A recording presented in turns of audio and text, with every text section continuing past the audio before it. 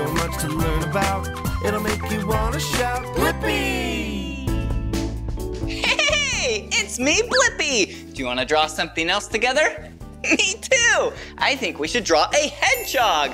All right, I'm gonna take this black marker and draw a diagonal line. Yeah, which is a line on an angle. And then I'm gonna start to draw a circle. Yeah, but I'm gonna stop just like that. And I'm gonna go to the top of the diagonal line, go straight down, and then loop and make a really long L, just like that. And that's the body. But before I go, I'm gonna start to make the circle and color it in, and that is the nose right there. They can smell really well. And then another circle, and that's the eye. and then a big smile, because they're all so happy. And then we need some U's, just like that, for the legs. Whoa! And then we're gonna do some upside down V's. Whoa! For the pokies. Whoa! wow, there we go. Cute animal.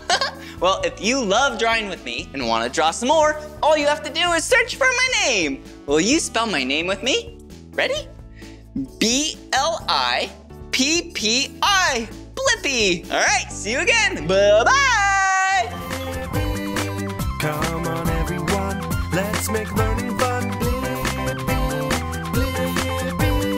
So much to learn about. It'll make you want to shout, Blippi!